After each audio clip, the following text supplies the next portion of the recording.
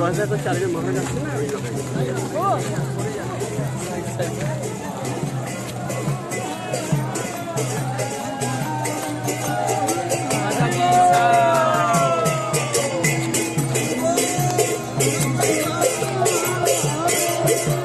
Thank